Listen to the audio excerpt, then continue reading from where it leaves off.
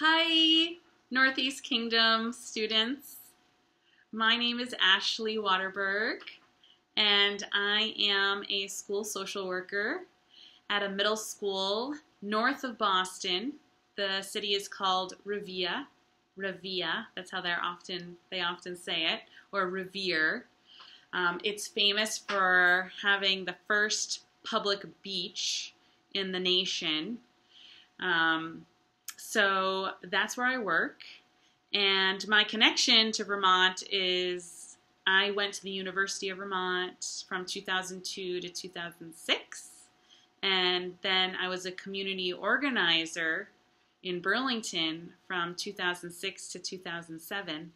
So I haven't lived in Vermont in a while, but it's very, very near and dear to my heart. I feel like part of me would like to call myself a Vermonter.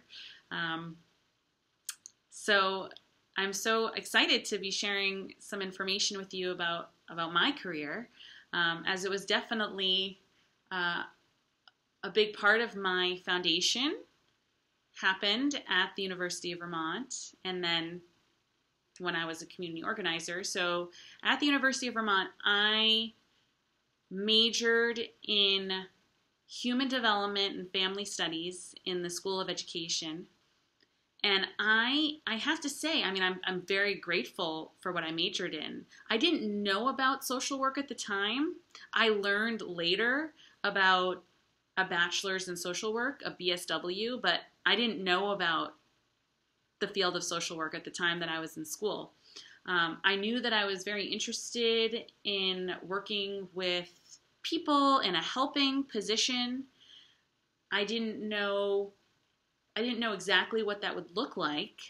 Um, I went to I think I took maybe three courses in the field of psychology, and the classes were so big and they felt impersonal to me.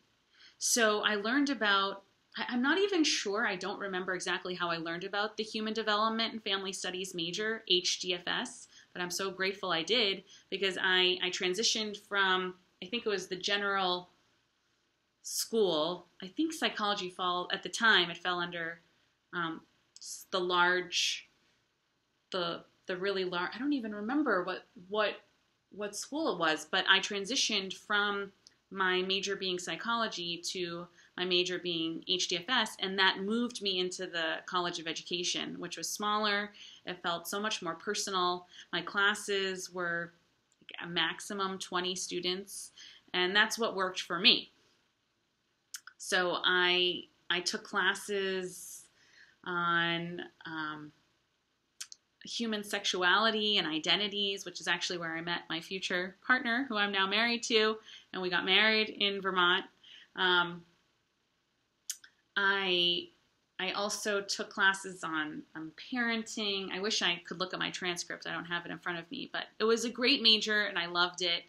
And I did two field work placements. So I part of the major required that I did some work in the field, and I remember interning at the Boys and Girls Club in Burlington, and then I did an internship at the Howard Center um, in one of their residential schools, uh, and that was really beneficial. It gave me experience uh, to to then guide me later. Um, I then was a community organizer in Burlington which through AmeriCorps, which was a was a really important experience for me um, in in learning about the importance of of everyone's voices being heard in the community whose whose voices often aren't heard. Uh, I then left Vermont and moved home. I grew up in Marblehead, which is a smaller town north of Boston, and I was a reading teacher, a reading tutor in in my whole, my old high school and I, I enjoyed learning so much about teaching kids how to read, but I knew I want to do what that counselor is doing.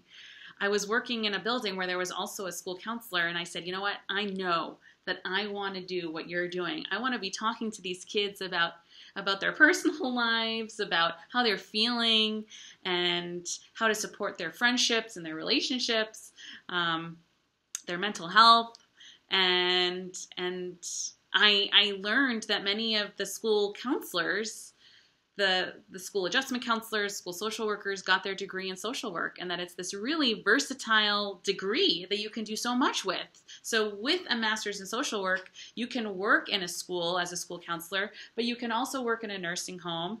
You can work in a hospital. You can work in so many different capacities, and I love that about the field of social work. Um, so I then went to St. Louis, Missouri, and I lived in St. Louis for two years. Went to school at Washington University in St. Louis, got my MSW, and I interned at the time. I interned at Planned Parenthood, and I then interned at a school, and and I got my um, my specialization in schools and came back to, to Boston. Had a lot of trouble finding a job as a school social worker. They're competitive jobs. Um, so I ended up being a school therapist. I, I worked um, with a caseload of students in Boston Public Schools, and I did that for two and a half years before getting the job that I'm in now. Um, so I've worked here. This is my ninth year in this district. I was at an elementary school first, and now I'm at a middle school. So students in grade sixth, seventh, and eighth, and they range from ages 11 to 15. Um, and I love my job so much. It's a very different looking job today than it was last year at this time. I'm recording this on September 25th, and last year at this time I was sitting in front of students um, you know, sitting with students. Here's my office.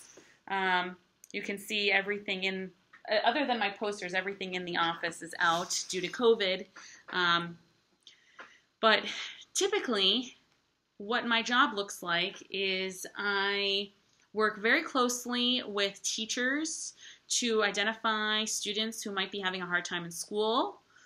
Maybe academically, maybe they're struggling academically, but maybe not and maybe they just need some support and someone to talk to. They're going through a difficult time at home, or maybe some stress is happening with friends, and they need to talk about it with someone who's not their parent, who's not their best friend, who's not their teacher, and and that's that's what I'm here for.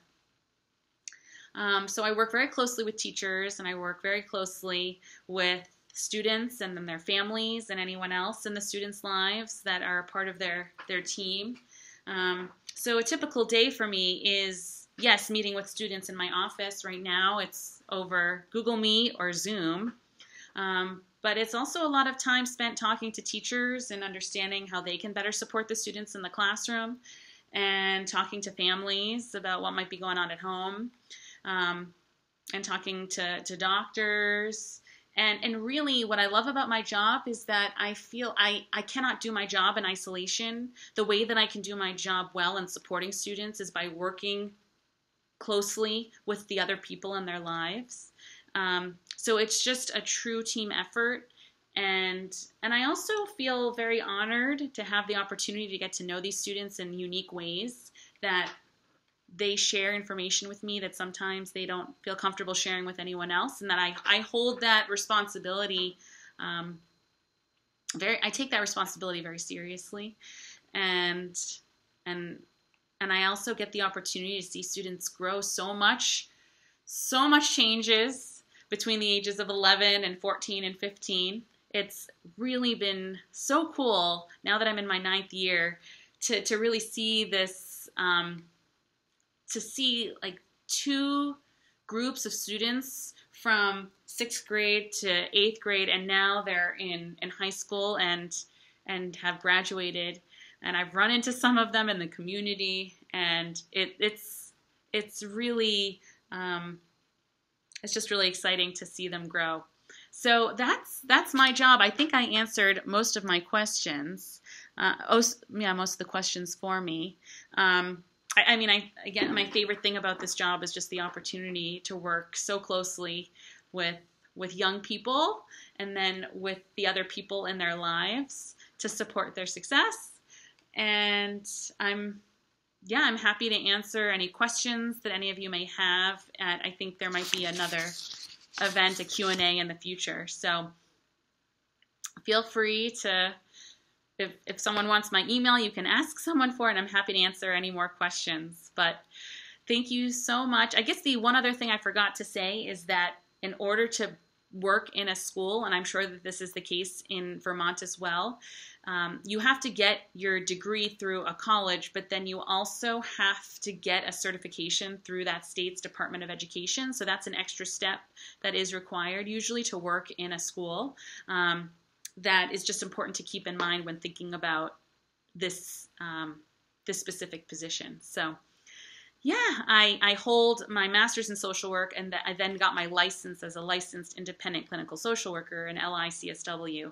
And then I also, through the Department of Ed, I have my certification as a school social worker through the Department of Ed. So just some, some specifics to keep in mind if this is something you're interested in doing. All right, everybody. I hope that the leaves are beautiful up there. I'll be going up there in mid October to celebrate my partner and I's 10 year anniversary. So, bye.